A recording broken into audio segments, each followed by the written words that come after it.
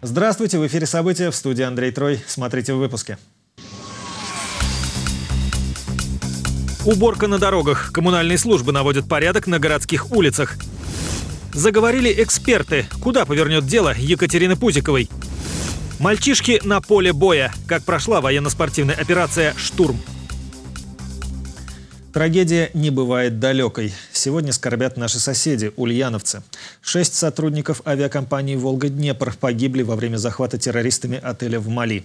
Среди них наш земляк, выпускник факультета инженеров воздушного транспорта Самарского государственного аэрокосмического университета, авиатехник по эксплуатации Павел Кудрявцев. Ему было всего 27. Руководство университета, сотрудники, выпускники и студенты Института авиационной техники выражают свои искренние соболезнования родным и близким погибшего. Губернатор Ульяновской области Сергей Морозов объявил этот понедельник днем траура и одним из первых возложил цветы к поклонному месту около офиса компании. По последним сведениям, самолет с телами погибших летчиков должен прилететь до конца недели. Тогда же состоятся похороны. Ульяновский журналист Сергей Давыдов поделился с нами информацией о том, что происходит в Ульяновске. На протяжении многих лет эта компания была гордостью ульяновской экономики. То, что произошло с ее сотрудниками, безусловно, вызвало шок и среди общественности, и среди простых жителей. Естественно, на улицах, э, ну, на кухнях люди это обсуждают, переживают. Офис авиакомпании находится в новом городе. Там э, выставлена табличка с э, именами погибших, и начиная с вечера, когда стало известно, стали известны имена погибших, люди приносят туда цветы, свечи, Первый экзамен сдан. Сильный снегопад, который прошел в Самаре, не стал сюрпризом для коммунальных служб. Сработали оперативно, хотя и теплая погода помогла. Но уже в середине этой недели синоптики обещают минусовую температуру, возможны осадки. Готовность города к зиме стала одной из главных тем на совещании в городской администрации. Первый сильный снегопад сюрпризом не стал, скорее репетицией. Выходные управляющие компании и коммунальные службы сработали слаженно. Как убирают снег, проверяли административные комиссии. Некоторые коммунальные конторы получили замечания. А вот службы Куйбышевского района удостоились похвалы. Итоги проверки подвели на совещание в городской администрации. Глава Самары Олег Фурцев отметил, что за плохую работу штрафовать надо не управляющие компании, а должностных лиц, чтобы те платили из собственного кармана. Постоянный мониторинг работы во дворах должны вести и руководители районов. Уважаемые главы районных администраций, у нас с вами пока репетиции идут, настоящего снега-то не было. Снегопады, значит, сами выезжаете рано утром, поскольку там в 5 утра, там в 6 утра, проехали, посмотрели, выдернули управляющую компанию, директора того или иного предприятия, и вместе с ними прошли и увидели, какая ситуация на вверенной вам территории. Борьбу с остатками снега продолжат, чтобы к наступлению морозов следов снежной каши не осталось и во дворах. Действительно, на сегодняшний день есть э, территория, где есть вот эта вот снежная масса, это во дворовых проездах. Вот эту снежную массу поставить МТЗ щеткой и с плужком и пройти, ее собрать, дворовые тротуары прочищены, въезды прочищены на 90%. В центре внимания и вопрос о ликвидации вскрытий на дорогах и тротуарах. Подрядчики и ресурсоснабжающие компании должны успеть заасфальтировать их до холодов. Почти все ямы, разрытые для планового ремонта, уже заделаны. Продолжаются работы значит, по в основном на аварийных объектах. Значит, э, одновременно на территории города ведутся работы на 35 объектах. Из них 263 аварийных и 42 плановых, на которых завершаются. Качество этой работы нужно повышать. Значит, неуклонно стремиться к тому, чтобы все сетевые организации, которые добиваются разрешений, работали очень качественно, очень организованно, в срок, а лучше досрочно ликвидировали все эти позиции. Поэтому здесь придется еще достаточно усилия прилагать, чтобы такую культуру воспитывать. Зиму готовится встретить по всем фронтам. Особое внимание будет направлено и на очистку крыш домов от снега и льда. Марина Кравцова, Максим Гусев. События. Плюсовая температура в преддверии зимних холодов не спутала карты дорожникам. О состоянии транспортных артерий в Самаре заботятся в любую погоду.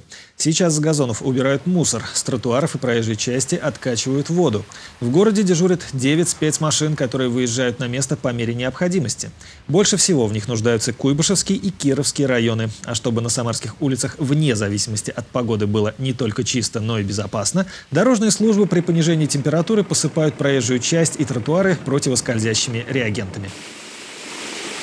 Если э, с пятницы на субботу у нас по городу был снегопад, соответственно, основным видом работы было сгребание снежных масс, обеспечение проезда улиц, расчистка тротуара, остановочных площадок, то, соответственно, э, с повышением температуры основными видами работ считаются это расчистка продолжающая тротуаров, э, уборка скопившегося снега с сформированных куч с прилотковой части дорог – и откачка воды.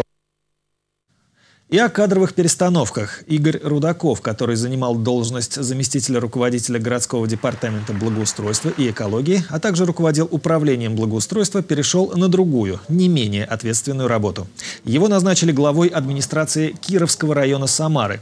В структурах исполнительной власти Самары Игорь Рудаков работает уже 7 лет. До этого он возглавлял городское управление ГИБДД. Теперь он будет руководить одним из самых крупных районов города. Очень сложный район, серьезное направление, но весь опыт работы Игоря Александровича, его навыки, его умение работать с людьми, находить компромиссы в сложных ситуациях и приводить в порядок как город, так и район, они нам известны.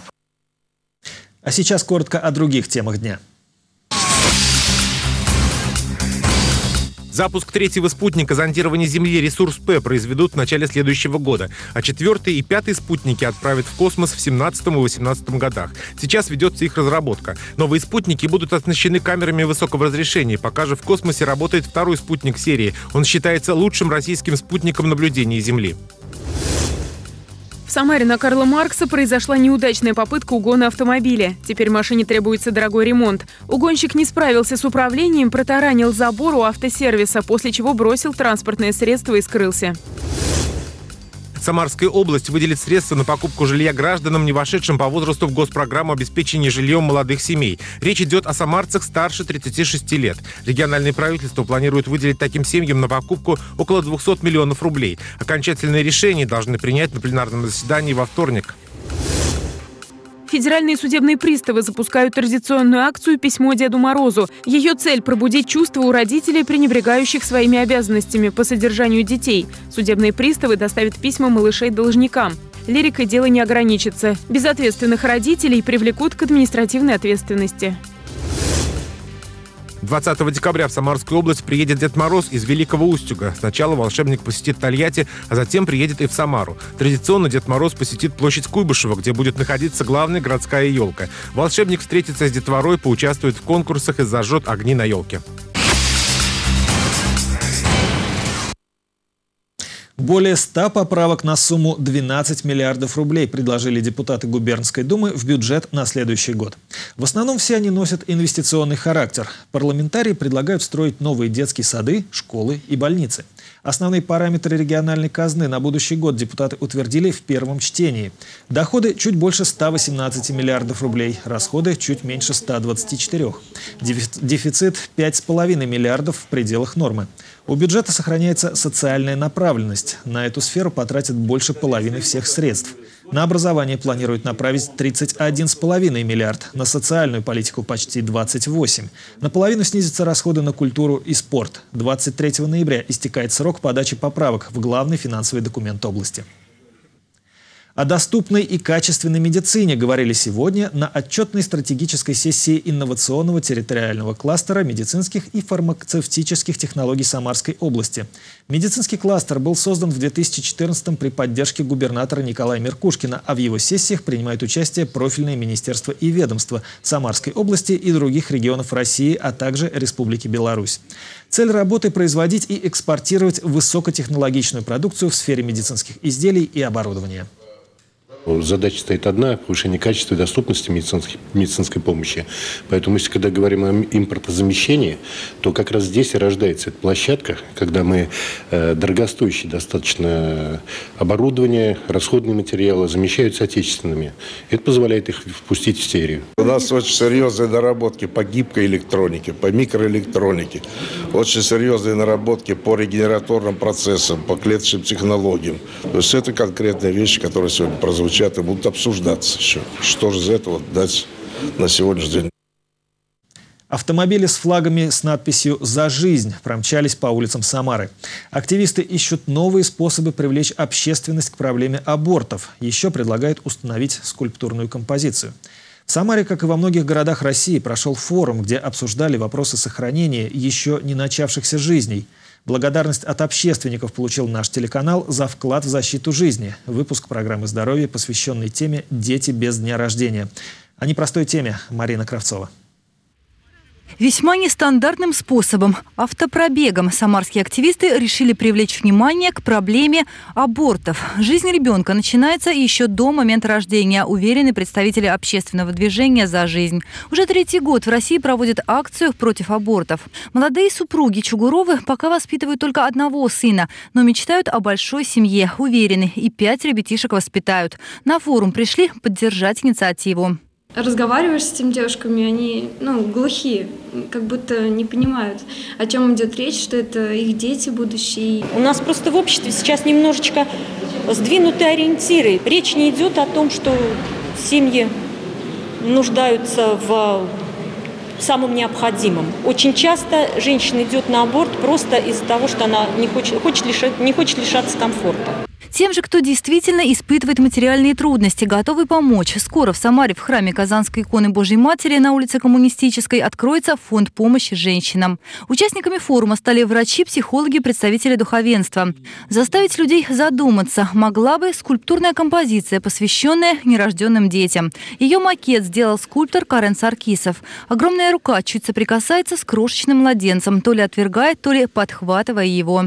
Здесь была очень сложная задача перед скульптором. Тема очень деликатная, и нужно было сделать что-то, чтобы хорошо вписывалось, но не было отталкивающим. Вы видите, какая хрупкость жизни э, в этой скульптуре. По задумке, скульптура вместе с постаментом будет высотой 4,5 метра. Средства на ее создание планируют собрать с помощью благотворительных фондов и взносов жителей Самары. Марина Кравцова, Григорий Плешаков. События. Концентрация яда в организме погибшего Дмитрия Пузикова в день смерти была в 10 раз выше, чем в день поступления в больницу. Об этом на судебном заседании заявили специалисты в области химии. Адвокаты, осужденные на 7 лет жены банкира, по-прежнему стоят на своем. Екатерина Пузикова не убивала мужа. Это они пытаются доказать в апелляционном суде. Напомним, Дмитрий Пузиков попал в больницу после домашней вечеринки. Как было установлено судом первой инстанции, он отравился картофельным пюре, в котором обнаружили следы талия. По словам экспертов, тогда доза была не смертельной, и еще около двух недель Пузиков провел в больнице, куда доступ был ограничен. Талий из организма выводили, а тут имеет место быть повышение, что однозначно говорит, что значит талий еще поступал извне в какой-то отрезок времени, от, от которого до которого мы смотрели цифры. Вот, я думаю, что все-таки это действительно самый вероятный сценарий. Вознаграждение в 1 миллион рублей за информацию о преступнике. В Приволжском федеральном округе продолжают разыскивать серийного убийцу. По данным следствия, этот мужчина, чей фотоработу вы видите на экране, задушил более 30 женщин, начиная с 2011 года. Его жертвами стали пенсионерки от 75 до 90 лет. По версии сыщиков, маньяк проникает в квартиры под видом сотрудника ТСЖ или соцработника. Всех, кто владеет какой-либо информацией о местонахождении преступника, просят обращаться в ближайший отдел полиции. Еще недавно в моде были клубы и компьютерные игры. Сейчас молодежь всерьез увлеклась военно-патриотической темой. Умение стрелять, проходить полосу препятствий и знание тактики боя у многих современных подростков занимают высокие позиции в шкале ценностей. Поэтому я с удовольствием поехал посмотреть на то, как мальчишки с оружием в руках действуют на поле боя, несмотря на превратности погоды. Компьютерные стрелялки не для них. Эти ребята предпочитают заниматься военной тактикой в реальности. На полигоне в Рощинском встретились 22 команды из военно-спортивных клубов области, чтобы выявить сильнейших. Знание военной топографии, умение передвигаться по полю боя и, конечно же, практические стрельбы. Все это в рамках очередного этапа военно-спортивной игры «Штурм», который состоялся даже при такой отвратительной и холодной погоде. Эти ребята уже знают, как вести себя на поле боя, умеют ориентироваться ориентироваться, разбираются в оружии. В полуфинале игры команды выполняют учебные стрельбы, показывают навыки тактического ведения боя и даже проведут штурмовую операцию по спасению заложников. И все это в тяжелых погодных условиях. В финале же все будет еще круче. Если мы выйдем в финал, то тут мы пойдем в полевой выход на всю ночь, это сложно будет. А пока что сложностей не возникало таких больших. Многие из участников игры уже сейчас готовы к службе и мечтают о военной карьере. За ними пристально следят военные инструкторы, оценивающие навыки будущих солдат. И, конечно, выставляют баллы за время, точность стрельбы и действия в боевой обстановке. Они с положительной стороны к нам относятся и, в общем-то, рассказывают, как здесь все происходит, как э, служатся. И я могу сказать, что ребята, которые участвуют положительно отзываются о воинской службе. Очень многие хотят э, после вот, окончания учебы идти служить. Финал военно-спортивной игры «Штурм» пройдет 22 ноября. В нем примут участие 10 команд. Этот сложнейший для непрофессиональных военных этап выявит лучшие команды, которые получат ценные призы для своих клубов. Андрей Трой, Григорий Плешаков. События. Путешествие на два века назад. В Аэрокосмическом университете прошел девятый ежегодный бал. Вальс, минуэт, падеграсс. В танце закружились 500 кавалеров и прекрасных дам. К волшебству прикоснулась и Алина Чемерис. Полонез, танец шествия. Традиционно именно с него начинались все балы. Выполняется по геометрическим Маленькая сказка. Путешествие на 200 лет назад. На ежегодном балу СГАУ. Все в лучших традициях 19 века. Кавалеры приглашают дам на вальс и мазурку. Дарья Данилова на балу танцует второй раз. Делится. К этому волшебству хочется возвращаться. Чувствую себя истинной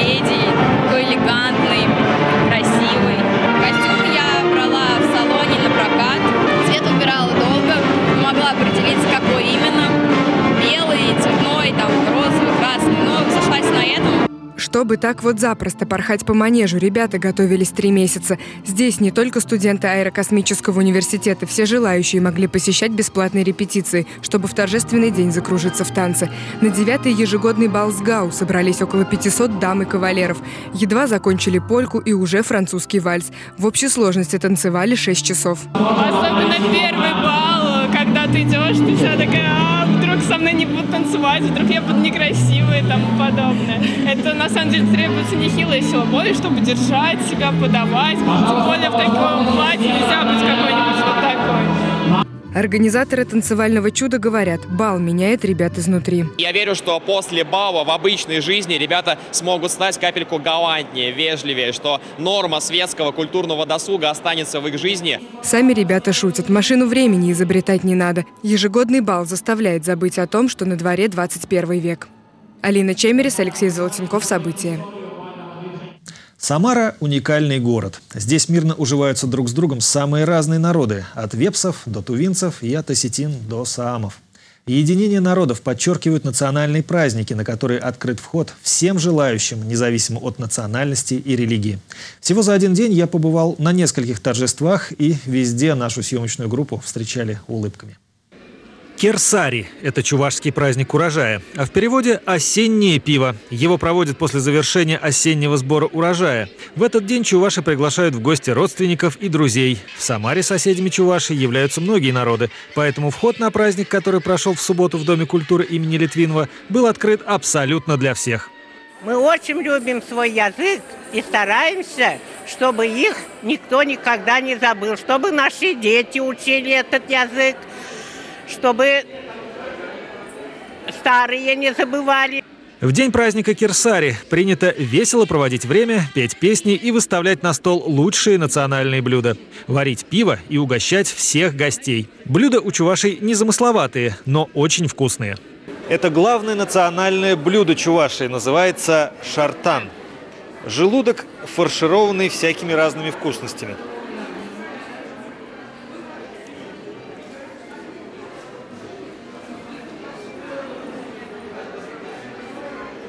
Я оттуда долго не уйду. Многонациональный праздник продолжили финно-угорские народы. В Самарской области их больше 70 тысяч. Основные народности – это мордва, марийцы и удмурты.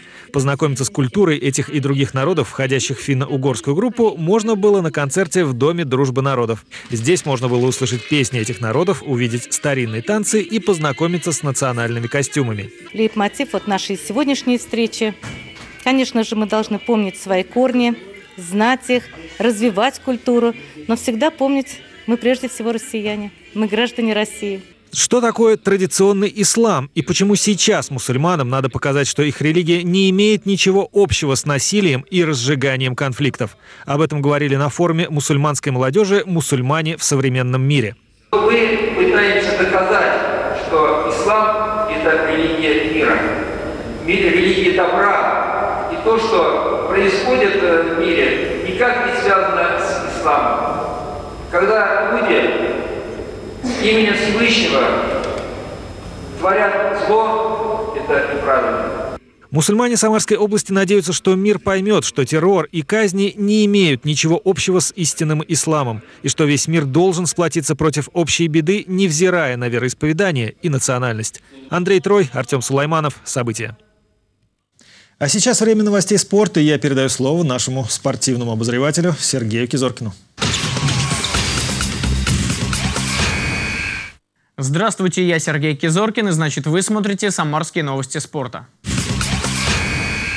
Национальный чемпионат по боксу стартовал в Самаре за медали путевки на ближайшую бразильскую Олимпиаду. Сражались 9 федеральных округов. Хозяева соревнований на правах организатора выставили свою сборную команду 14 человек. Лидеры, победитель этапа Кубка мира новокуйбышевец Василий Веткин и бронзовый призер чемпионата России Сухроб Сидиков. Многие ребята первый раз выступают на таких крупных соревнованиях. Если вот это они пройдут, не упадут ни духом и физически не сломаются морально не сломается. Я думаю, что ребята будут боксировать у нас ну, еще лучше. Михаил Пекарский впервые готов попробовать свои силы на ринге чемпионата страны. В прошлом году на Поволжье был третьим, сейчас первый. А начинал свою спортивную карьеру мастер спорта на улице в Безенчуке. Поединки один на один и стенка на стенку. И только в 14 лет Михаил решил свой талант показать искушенной публике. Буду до, до последнего драться. Такой только настрой у меня потому что для меня это очень важно. Звезды отечественного бокса были как на ринге, так и на трибунах. Поддержать спортсменов приехала легенда спорта, профессионал, чемпион мира Николай Валуев. Впереди у нас Олимпийский год, Рио-де-Жанейро. А, и традиционно наши боксеры завоевывают все вот последние годы золотые медали, серебряные, ну то есть э, медали высшего достоинства, которые они приносят э, в копилку российской сборной. Я да все мы хотим, чтобы так случилось и на Олимпиаде в Рио. Посмотреть на бои чемпионата страны по боксу можно бесплатно всю неделю в МТЛ-арене. Финалы состоятся в воскресенье. Это были новости спорта от Сергея Кизоркина. Будьте здоровы и занимайтесь физкультурой.